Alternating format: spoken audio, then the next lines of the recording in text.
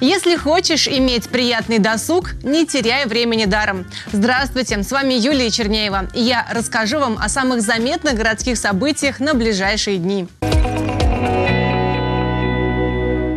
На набережной устроят книжную ярмарку. С утра и до вечера можно будет приобрести литературу взамен на пожертвование. Причем покупатель сам решает, сколько денег оставить за товар.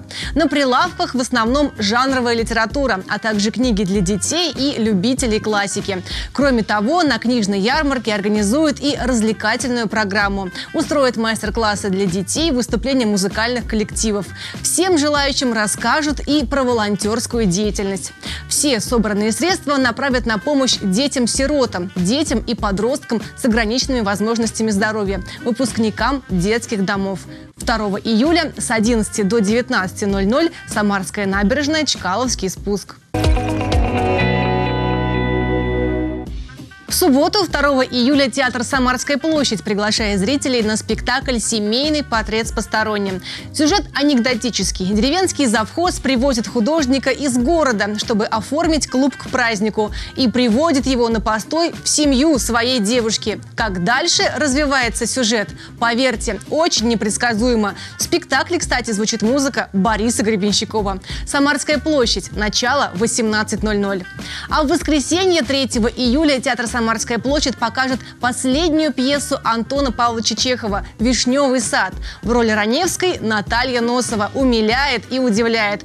Впрочем, и сама пьеса, знакомая многим еще со школьной программы, смотрится легко и приятно. О чем «Вишневый сад»? Ответ на этот вопрос искали многие известные драматурги и критики. Может, именно вам удастся раскрыть главную тайну Чехова? «Вишневый сад», Самарская площадь, начало 18.00. В воскресенье днем мальчишек и девчонок приглашает литературный музей. Интерактивная игра «Необыкновенные приключения в тридевятом царстве, тридесятом государстве» или «Как победить Кощея Бессмертного». Кто сможет выполнить задание от батюшки царя по рукоделию и выпечке хлеба? Кому по плечу пройти путями, дорогами Ивана Царевича? Как победить самого Кощея Бессмертного? И интересно? Тогда скорее записывайтесь на участие. Самарский литературный музей, улица Фрунзе, 155. Начало в 12.00. В воскресенье 3 июля в Академическом театре оперы и балета вечер одноактных балетов. Первое отделение – балет «Серенада» на музыку Петра Чайковского. Постановка новаторская и самобытная. Зрители смогут оценить уникальные элементы современной хореографии. Во втором отделении – премьера «Гранпа» из балета «Пахита». Эту хореографическую картину нередко называют парадным портретом труппы.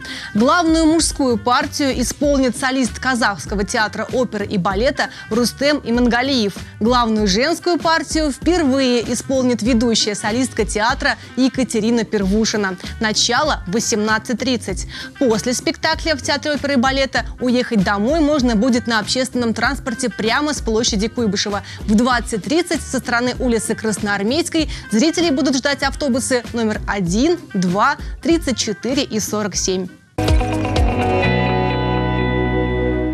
Уже не первый год музей модерна становится местом, где самарские художники выставляют свои новые произведения. Этим летом вы увидите работы молодых самарских авторов, художников Ивана Ключникова и Глеба Пескова, а также скульптора Евгения Юдакова.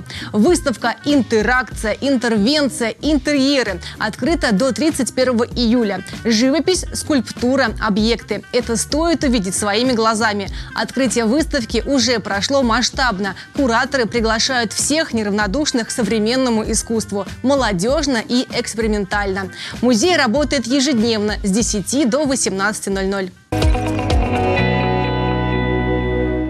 В Доме культуры «Чайка» открыта персональная выставка самарской художницы Анны Есиповой «Ветер странствий». На выставке представлены работы с пленеров, в которых принимала участие Анна в течение последних двух лет. География достаточно обширная. Республика Мари-Эл, Удмуртия, Крым, города Тверской области, а также красоты родного Самарского края. Выставка работает с 10 до 20.00. Адрес Сергея Лазо, 21, Дом культуры «Чайка». Не сидите дома, проводите время с пользой. Хороших вам выходных и отличного настроения.